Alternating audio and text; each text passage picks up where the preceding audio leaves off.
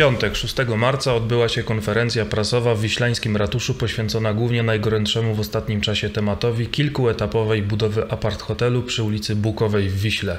Inwestycja budzi spory sprzeciw społeczny, widoczny zwłaszcza w internecie. Burmistrz, jak zaznacza, jest cały czas gotów do rozmowy z mieszkańcami, jednak jak dotąd stronom nie udało się spotkać.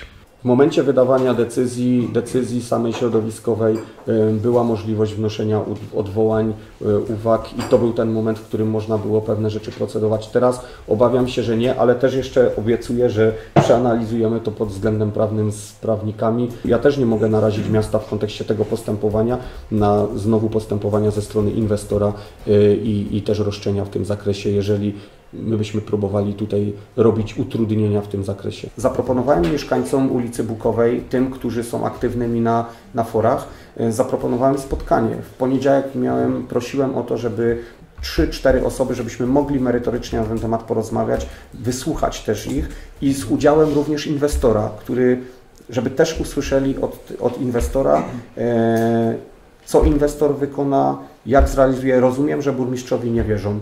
Rozumiem, że być może y, inwestor do nich przemówi w jakiś sposób bardziej prze, przekonywująco w tym zakresie. E, Czekam na wyznaczenie takiego terminu. Mało tego, poprosiłem o to mieszkańców, żeby oni wyznaczyli ten termin. Dwa terminy, żeby inwestor mógł ewentualnie uczestniczyć w tym spotkaniu. Ja się do tego dostosuję. E, No dzisiaj mamy raptem piątek i te, to, to spotkanie no, y, tego terminu, mm, ten termin nie został wykona, wy, jak gdyby wskazany. E, No i tak trochę mnie, to, trochę mnie to boli i trochę mnie to dziwi i w momencie, kiedy jesteśmy przedstawiani jako tylko ci, którzy trzymią e, stronę, stronę inwestora, często kiedy inwestor już kupuje nieruchomość, doskonale wie, co na niej chce zrobić, doskonale e, włada potężną rzeszą prawników i specjalistów w tym zakresie, żeby do, doprowadzić do pozwolenia na budowę. Y, I umówmy się, no nie ma takiej e, procedury, w której by można było przeprowadzić te konsultacje. E, Okej, może tak, może, może mi tego zabrakło być może, bo rzeczywiście może taka, e, takie spotkanie powinno być z mieszkańcami, tylko drodzy Państwo, ja nie jestem w stanie mm, tych konsultacji realizować co jakiś czas, bo tych pozwoleń na budowę toczy się mnóstwo. Na jakim obszarze, jak, od jakiej wielkości zabudowy nieruchomości, y, no, no, no nie wiem, no sam nie wiem jak, jak to sprocedować i jak to realizować. Przypomnijmy o co chodzi. Na sąsiadującej z działką, na której już budowany jest trzysegmentowy obiekt o funkcji hotelowej o łącznej powierzchni użytkowej 28 tysięcy m2, według złożonego w Starostwie Powiatowym w Cieszynie projektu budowlanego mają powstać kolejne trzy budynki o funkcji domu wczasowego o łącznej powierzchni około 25 tysięcy m2 oraz dwa budynki o funkcji garażu. Jako mieszkaniec jestem przeciwny i to zawsze moje stanowisko było w tym zakresie. Mówię jako mieszkaniec.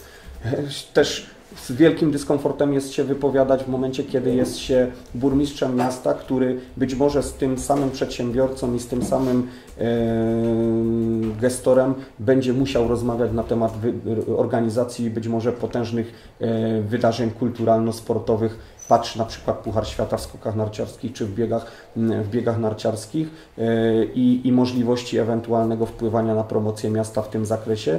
E, Czyli, czyli ja też którymś momencie będę miał partnera, e, z którym pewnie będę musiał współpracować. No i też pewnie będę chciał współpracować nie dla dobra Bujoka Tomasza, burmistrza miasta, tylko dla dobra samych mieszkańców. Rzeczywiście sprzeciwy są składane w tej sprawie do Starostwa Powiatowego w Cieszynie. One są dopiero w, w gestii analizy, także my ich analizujemy na bieżąco.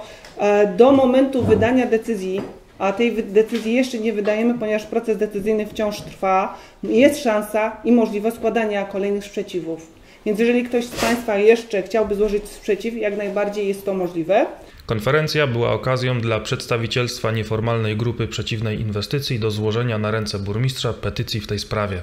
Wybierzemy się do pana burmistrza razem już z podpisami i myślę, że uda nam się y, dalej tą y, sprawę nie tylko Bukowej, ale też całej takiej y, zabudowy molochami Wisły y, ruszyć. I, i Ja, ja się bardzo cieszę z, w jak, z jakim zakresie, że mieszkańcy są świadomi y, właśnie tych zagrożeń. Nie znam treści tej petycji, więc nie wiem, czy nie będę jej musiał przekazać Radzie Miasta, bo być może ona jest adresatem merytorycznym tej petycji. Ja też Państwu przekazałem, jakie jest moje stanowisko i co w tym zakresie chcemy zrobić.